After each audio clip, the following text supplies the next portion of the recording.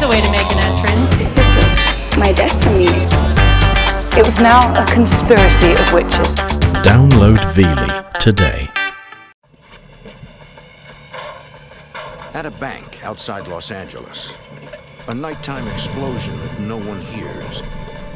Cunning criminals no one sees. It's the perfect burglary in which cash and bandits vanish without a trace. With little to go on, the FBI must use instinct and determination to solve a case that seems impossible to crack.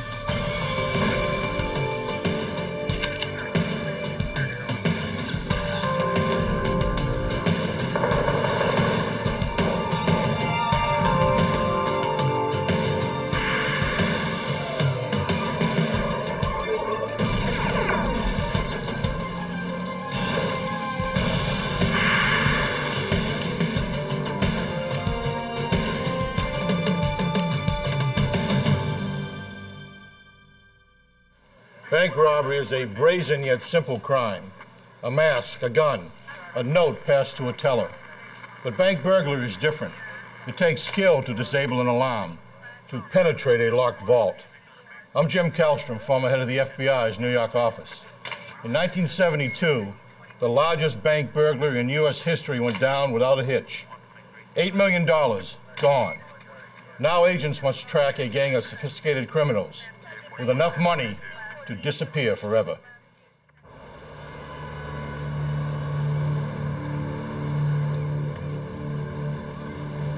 Laguna Niguel, California. March 27, 1972. It's Monday morning at the United California Bank. Employees prepare to open for business.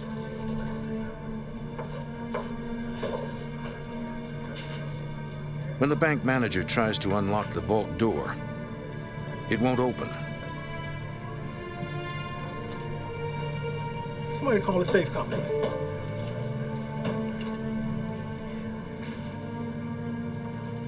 A technician from the vault manufacturer arrives 20 minutes later to check the door's locking system. He works for hours. The combination is right, the tumblers are in place, but unexplainably, even the expert can't get it open. It's not working.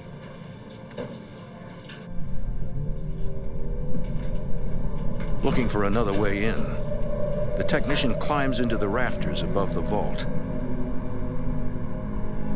He is stunned to find a hole cut in the roof.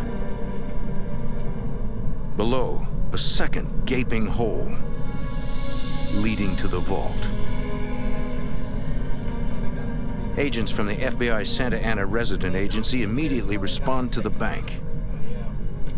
The first investigator to survey the cluttered crime scene is Special Agent Jim Conway. Upon arriving and getting up on the vault and looking down at this hole, we could see a pile of rubble, uh, I would say six feet tall and expanding out.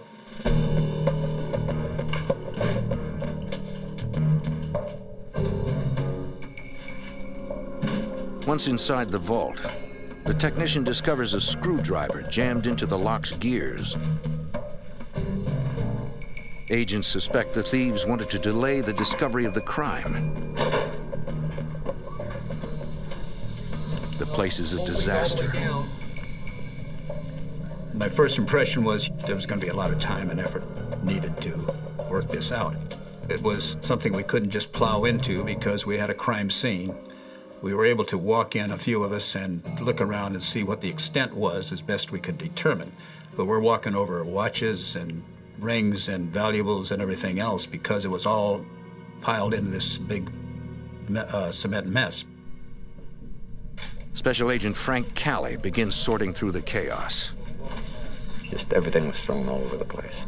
There, uh, the locks of hair, um, all kinds of check statements, uh, photographs, uh, things that people would normally put in the in the in a safety deposit box. I remember seeing urns with ashes of deceased people uh, in there. The agents begin the arduous task of determining how the burglars entered the seemingly impenetrable vault. They notice dark soil and pieces of burlap mixed with the cement rubble.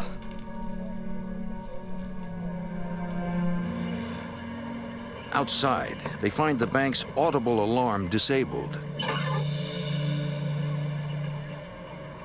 They also find a ladder. Interpreting the clues, investigators piece together the burglars' intricate plan to breach the vault.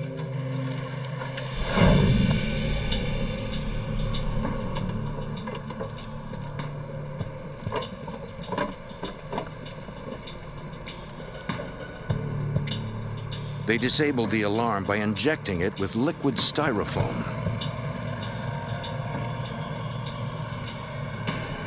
Hardened, freezing the clapper in place and rendering the alarm useless.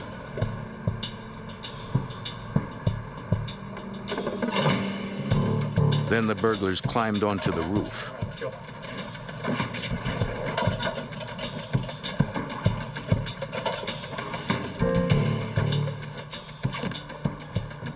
Investigators find tape on a rooftop outlet, suggesting the burglars used the bank's electricity. When agents cannot find fingerprints on the tape, they conclude the burglars wore gloves.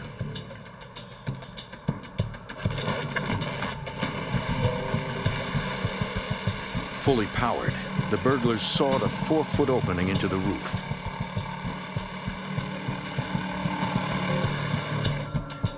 Good, good. All right, we're in, we're in.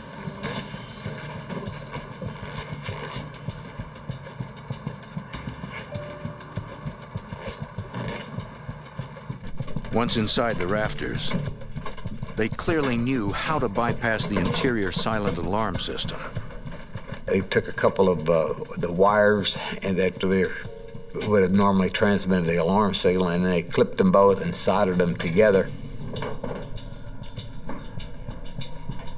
It was delicate, highly skilled work. Knew right away they, they, they, they were smart, they did the homework. Even with the alarm disabled, 16 inches of steel reinforced concrete stood between the burglars and the contents of the vault. The only way through, an intensely powerful blast. Agents believe the bandits drilled holes into the cement, then inserted dynamite and electric blasting caps.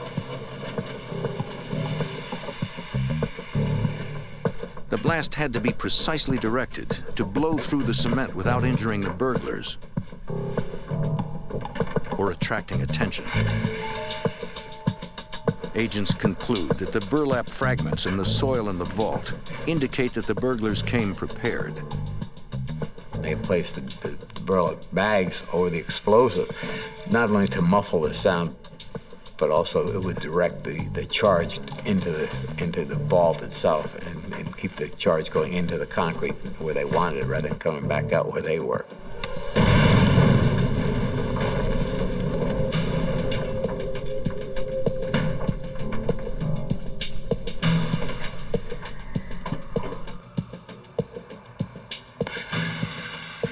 The investigators discover burn marks on the steel rebar that reinforces the cement.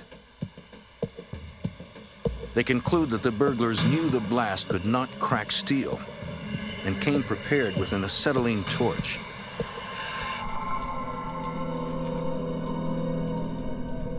Agents turn their attention to assessing the total loss. Bank officials report $50,000 is missing from cash drawers. But the thieves were not content with the cash. They took the time to break into 458 safe deposit boxes. Investigators find tool marks on the locks of the boxes and deduce the burglars used a pointed instrument and a lot of brute force to break them open one by one. They carefully sorted through every item, leaving behind what they didn't want. Amazingly, the bandits were so methodical that they got in and out without being seen or heard. In 1972, most banks were closed on weekends. Agents conclude that the suspects took full advantage of that fact. Apparently, they had been in there several times, in and out over the weekend. It probably went, went in on uh, Friday night, and they probably didn't get out there late Sunday night. Not only had the burglars pulled off such a lengthy, complex crime, they did it without leaving a single fingerprint. Although investigators do find a brown cotton glove and broken drill bits, neither is unique enough to be traceable. Agents and deputies collect the debris for further examination at the crime lab. But with no apparent evidence and no witnesses, agents are facing the tough challenge of identifying and locating a group of highly skilled criminals, including electronics and explosives experts. Investigators turn their attention to determining the total loss from the safe deposit boxes. It will be extremely difficult since banks do not keep records of their contents. Ordinarily, if you had a bank burglary, you would be missing cash. You'd go out and say, yes, we got to find $350,000 worth of cash. At this point, we did not know what was gone. It's a very affluent area. And so the possibilities of a tremendous amount of money and material being lost was, uh, was evident. Investigators begin the arduous task of carefully sorting and cataloging every item left in the vault. Then, by interviewing every box holder, agents learn the details of missing jewelry, rare gold coins, and bearer bonds. By a process of elimination, they slowly create a list of the stolen goods. The bank's loss of $50,000 in cash pales by comparison as the value of the missing items rises to over $8 million. The heist has now become the largest bank burglary in U.S. history. With no physical evidence to go on, investigators hope to develop leads by thinking like the bandits. We felt that uh, they would need oxygen to burn the, the rebar and so we canvassed hospitals, oxygen supply places, and things like that. Despite checking every oxygen supplier in the area, agents come up with nothing.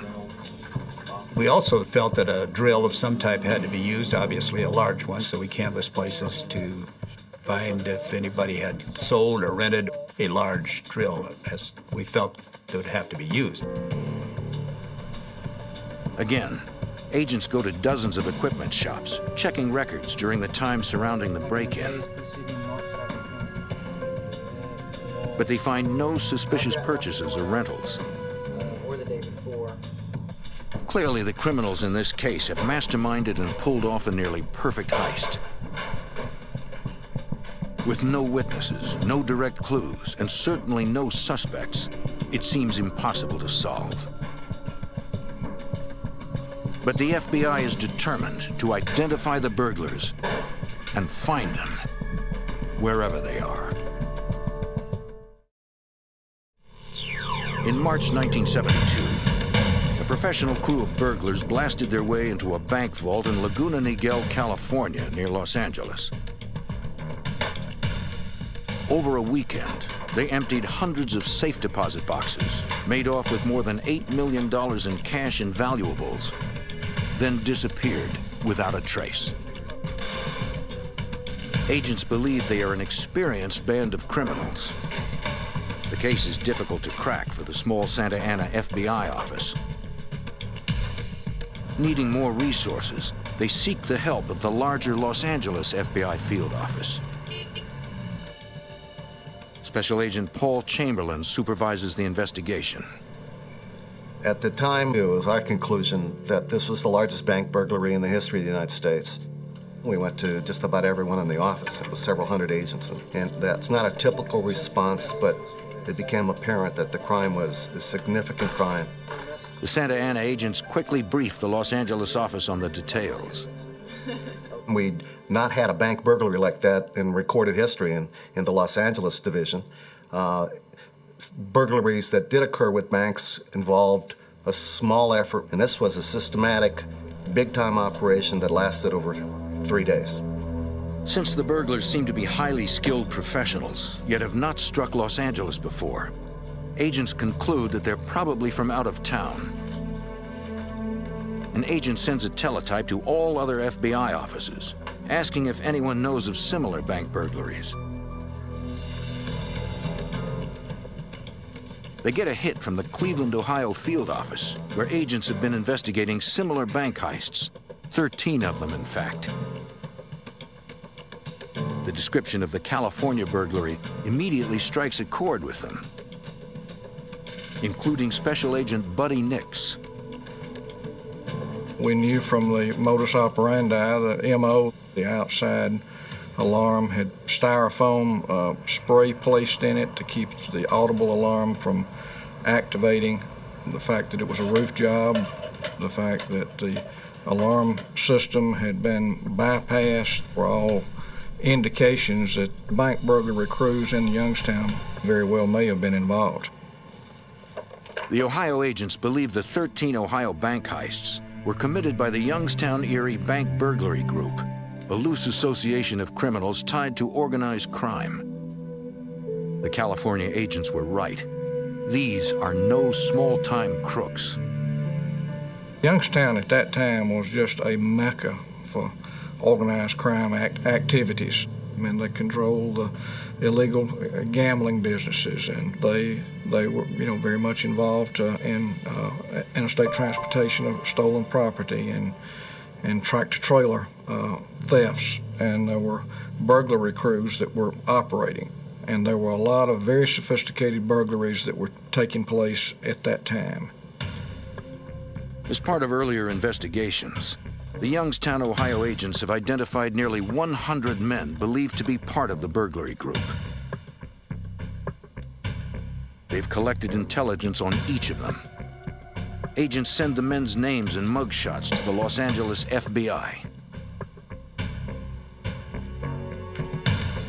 There, investigators try to narrow the list.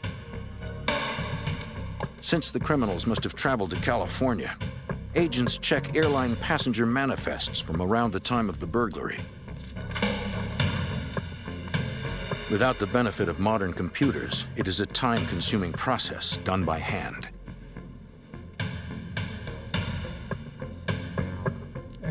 After an exhaustive search, they find the names of five men from the Youngstown list who had boarded a recent flight to Los Angeles. That's great. Emil Dinsio, Harry Barber, Charles Mulligan, Charles Brockles, and Philip Christopher arrived in California nine days before the heist. The sixth man, James Dinsio, came in on a different flight the day before the burglary. Finally, agents have developed suspects. And his brother Emil Dinsio. Agents review the intelligence gathered on the six members of the burglary group. All have long records for home and small business burglaries First suspect we're going to look and have done little jail time. Emil. So if we get him, Emil Dinsio appears to be the brains of the gang, the leader. uh, you need to pay attention to that picture and remember his face. He plans the jobs and handpicks the team to pull them off. Uh, Charles. Uh, Charles history of- Brockles is an explosives and electronics expert, well versed in bank alarms. Agents believe Philip Christopher is a lookout for the gang. All right, he's known for his expertise in bank robbing.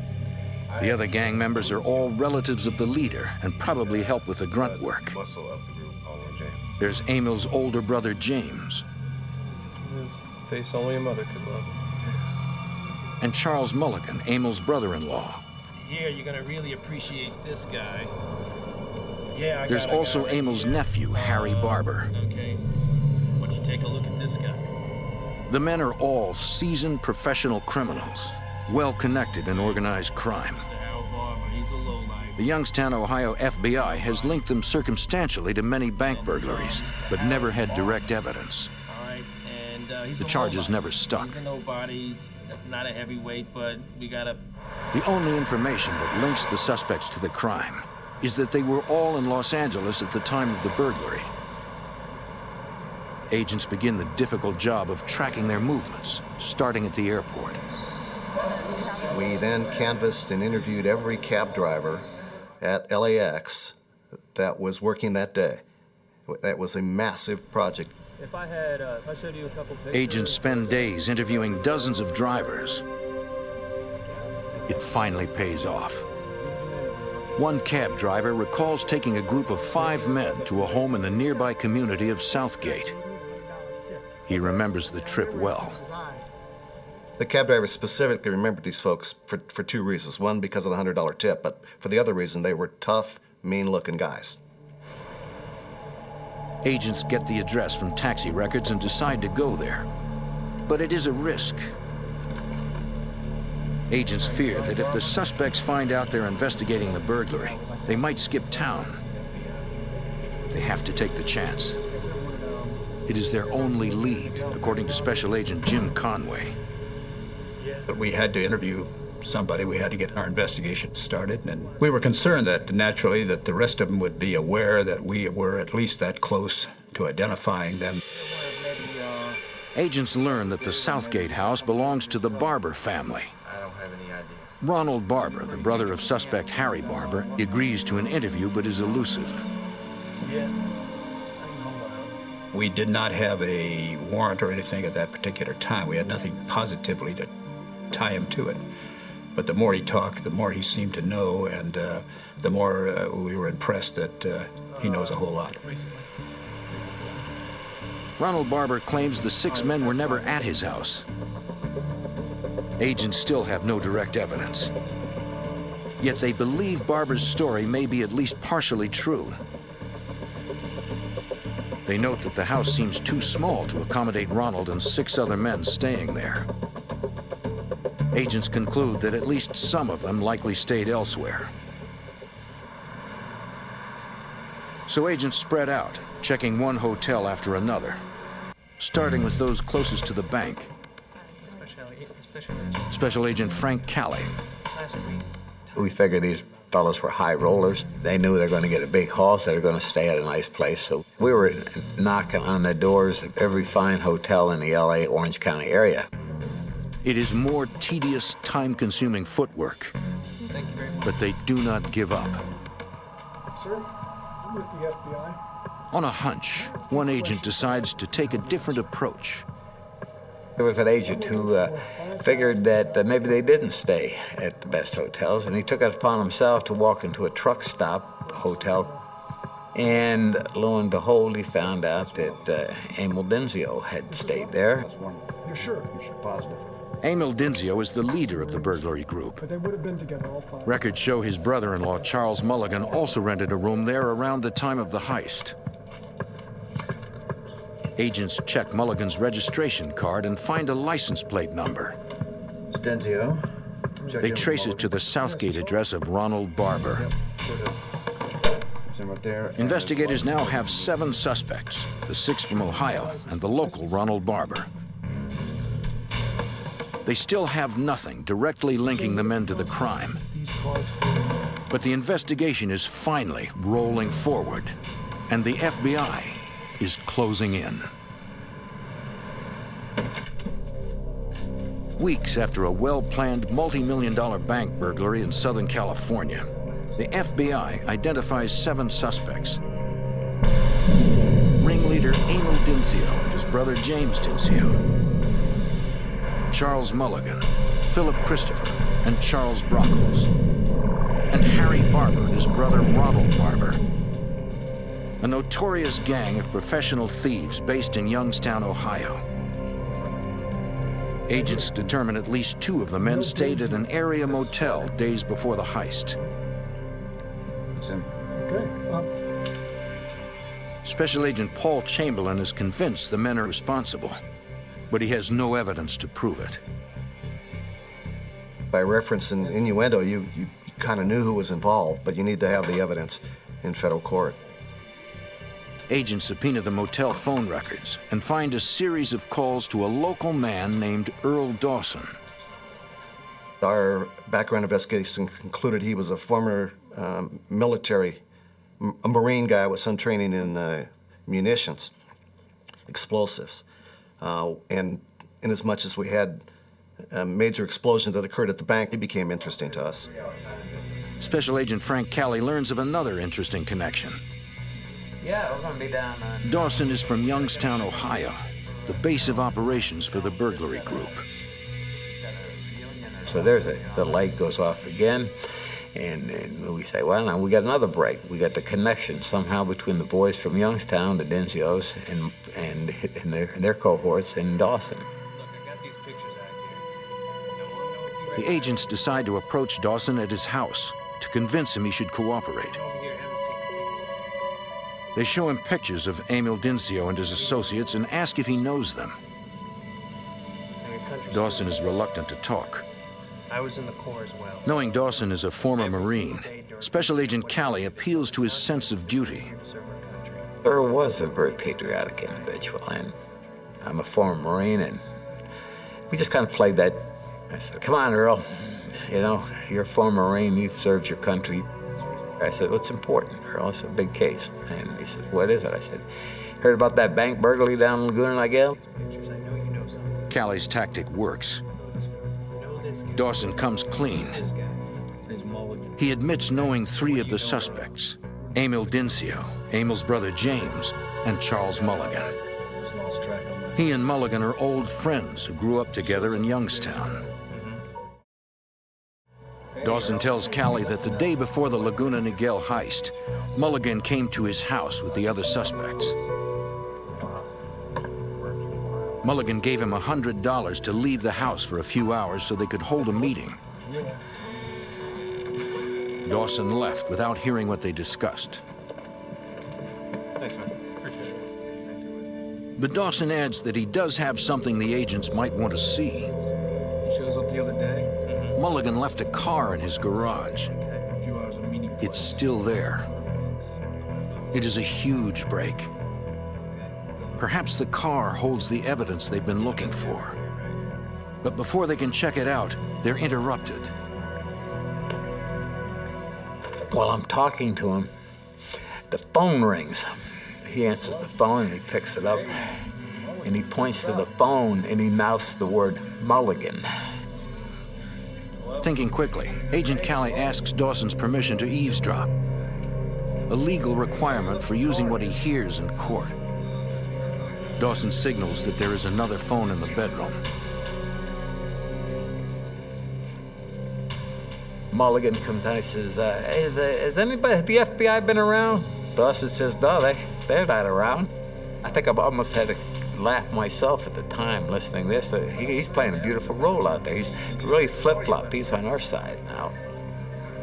Mulligan explains that he knows the FBI has been asking questions about him and his cohorts, and that they're getting worried.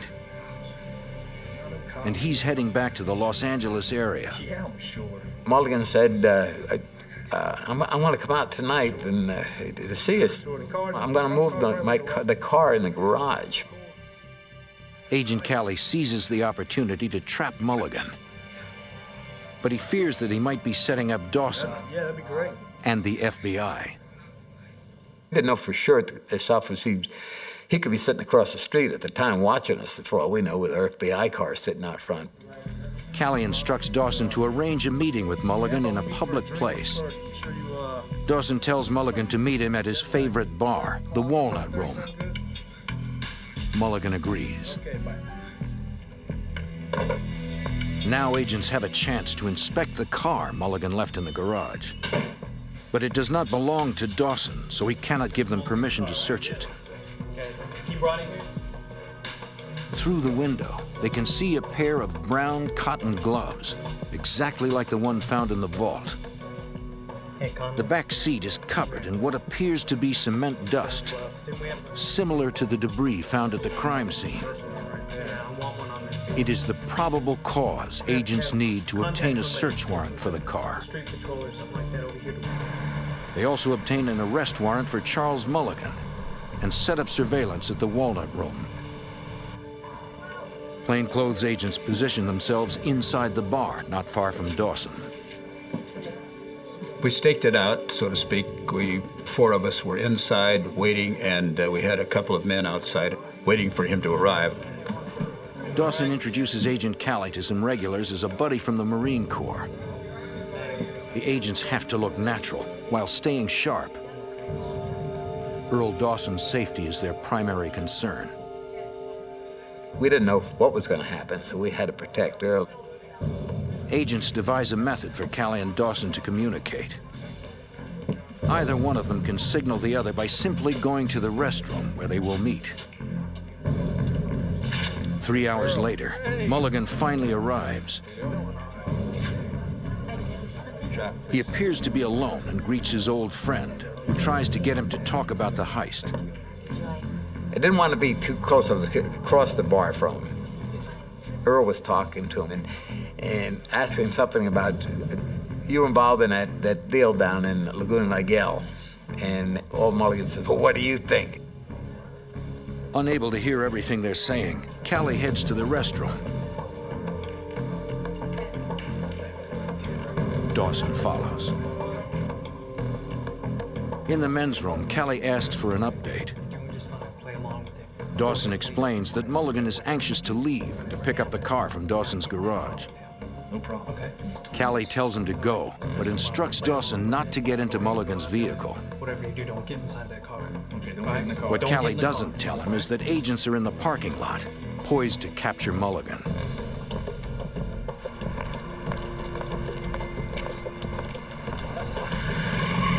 Agents finally make the first arrest in the case. As they take Mulligan into custody, they pretend to arrest Dawson as well to mask his involvement with authorities. Mulligan is charged with bank burglary. He does not resist arrest. But when agents try to question him, he refuses to talk. They hope to find answers in the car he was trying to pick up. Agents returned to Dawson's house and searched the car in the garage. We found this large motor used as a drill and some other tools that we felt were very much uh, probably the ones that were used in the actual committing of the crime. Agents recover stolen coins, along with drill bits, acetylene torches, hammers, and other items that could have been used for the Laguna Niguel heist. Exactly. And we felt very good about it, felt we hit pay dirt, we hit a home run. Evidence technicians ship everything to the FBI lab in Washington, D.C. for processing. As examiners take days to analyze the evidence, field agents follow up on more phone records from the motel. One number belongs to a real estate agency in Laguna Niguel, California. A manager shows agents a condo she rented to suspects Ronald and Harry Barber days before the burglary. The Barbers told her they planned to stay three months, but left after only three weeks. No damage, no problems. She was able to put the day that they got there and the day they left together for us. This is rented to Ronald Barber. The men moved out suddenly on March 27th, the day the crime was discovered. He rented it for three months. The manager gives investigators permission to search the condo, which is within sight of the targeted bank.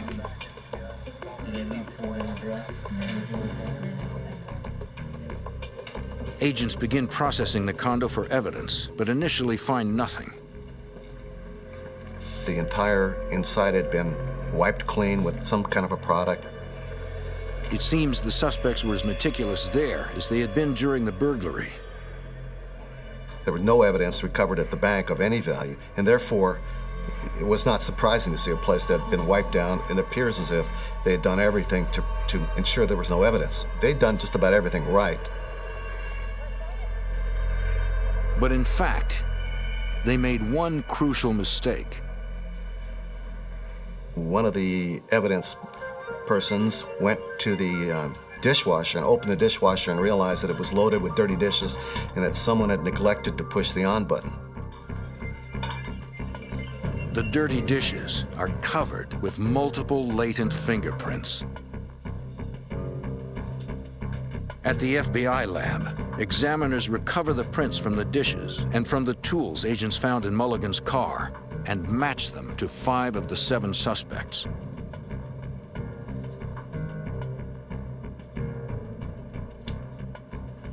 Toolmark experts examine the damage on the safe deposit boxes and compare them to the striking point of a snout-nosed hammer from Mulligan's trunk.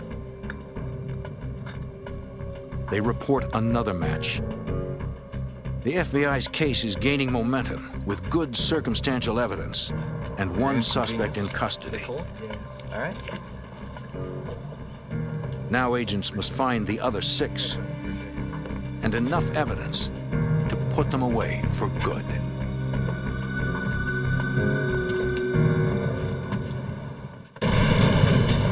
In Southern California, the FBI connects a team of seven members of an organized crime ring based in Youngstown, Ohio, to a multi-million dollar bank burglary when they recover tools used in the heist from the car of suspect Charles Mulligan. Mulligan's arrest puts the investigation into high gear, according to Special Agent Paul Chamberlain.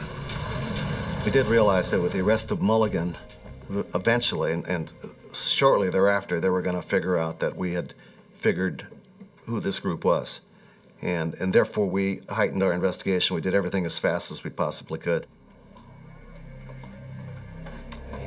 But since most of the evidence is circumstantial, the case hinges on the testimony of informant Earl Dawson, a man the FBI must protect. Go ahead and leave with him, all right? But whatever you do, whatever happens, Earl was probably the, the key witness uh, because the case was kind of dry all along. It's, it's physical evidence. It's uh, burglars are very dry.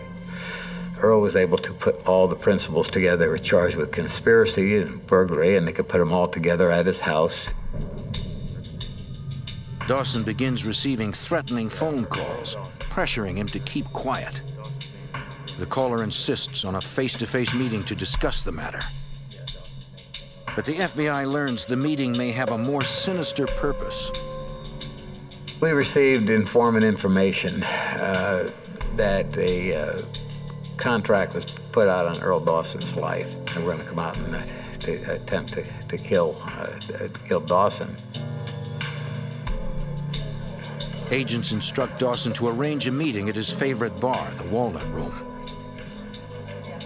But don't tell him about the planned hit. Agents want to confront the men to send a message to the Youngstown crime ring that the FBI is on to them. Agents are confident that they can protect Dawson as long as he stays in a public place. I told him, Earl, don't leave the, this bar. Whatever you do, don't go any place with this. You don't ever leave that room. You stay right in that bar. As before, if either Dawson or Callie needs to communicate, they will meet in the restroom. The alleged hitmen arrive. Started buying Earl some pretty heavy drinks. Earl was basically a beer drinker, but they, you could see they were trying to switch him off to, to stronger drinks. When Dawson starts to look concerned, Callie heads to the restroom. Come on, hurry up. Get him right out of here. Dawson tells the agent he's scared. The hitmen want him to leave with them. I said, Earl, you're not leaving this place with him. You're leaving, you're not leaving. Agent Callie tells Dawson to wait in the restroom.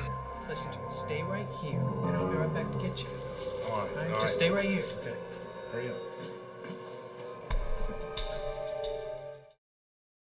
The agents finally approach the men. They say they know what they came to do. Time to get out. Let's go. To the hitmen, the message is clear. Stay away from Dawson. They had no problem leaving. I went directly to LAX where they were uh, escorted uh, by LA's finest to an aircraft and they left uh, Southern California. To keep Earl Dawson safe for good, the FBI decides to put him in the witness protection program. Gone. You're not gonna see. Agents then go after the remaining burglary suspects.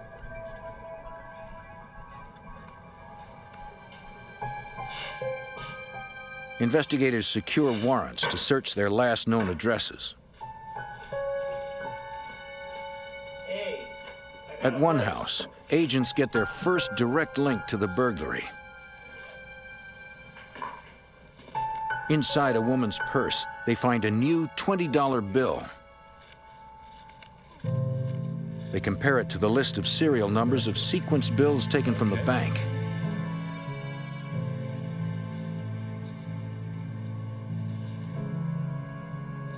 It's a match. Special Agent Buddy Nix of the Youngstown FBI office receives information from an informant indicating that these gang members had been known to bury the cash they stole until they could launder it safely. We identified about a 20 or 25 acre field that we had information that some of the loot was buried in.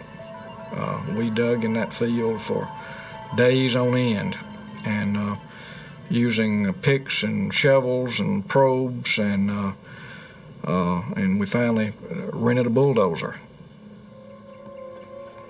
The land is adjacent to property owned by James Dinsio. After more than a week of digging, Hey! agents hit the jackpot.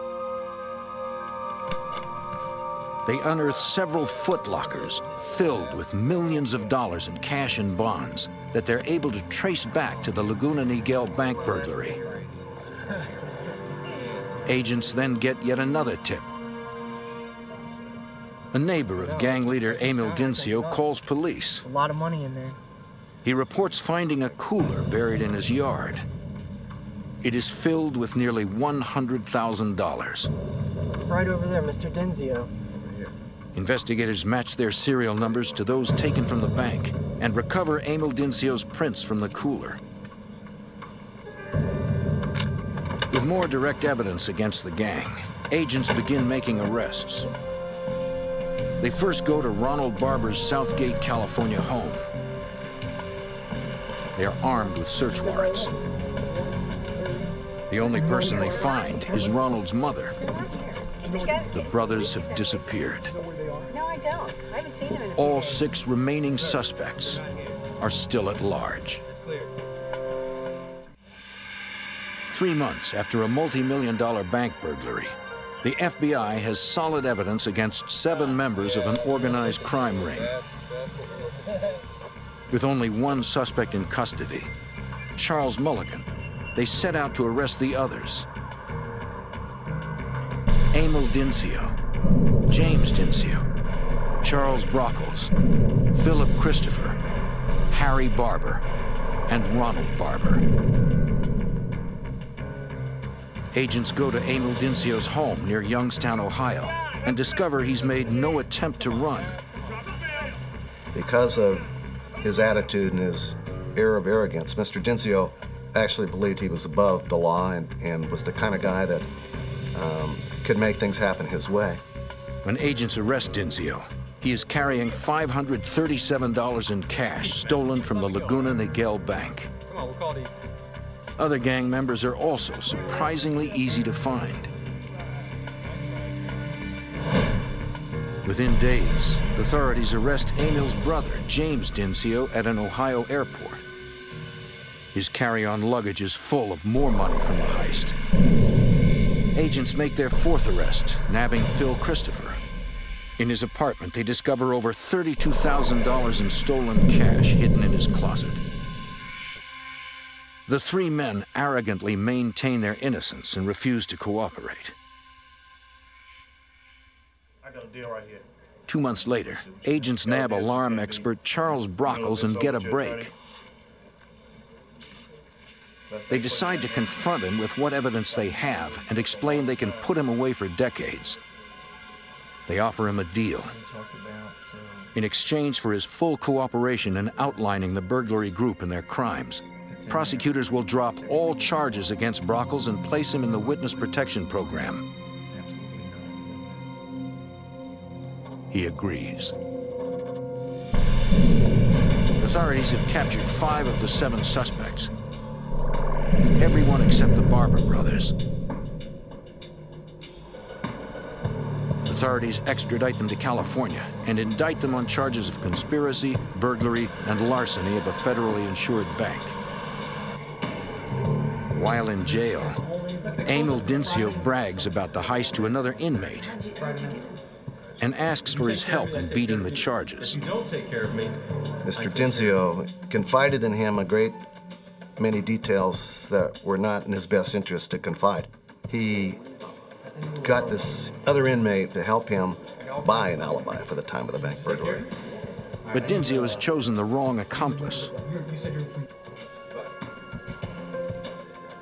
The other inmate was someone who had had contact with law enforcement on many occasions in the past, and he realized that what he was being told would be of some importance to someone, and he came to us. Hoping to receive a lenient sentence for his own burglary case, the inmate tells agents of Dinsio's confession and the plan to purchase an alibi. And that was Vegas? In Vegas? Well, that's where his alibi The alibi was that Mr. Dinsio was going to be in a motel room, a hotel room in Las Vegas, with a prostitute and with physical evidence that would show that he was there. The FBI sets up a sting. Agents give the inmate a contact to offer to the contact is actually an undercover agent who will provide Dinsio's alibi materials. Dinsio takes the bait.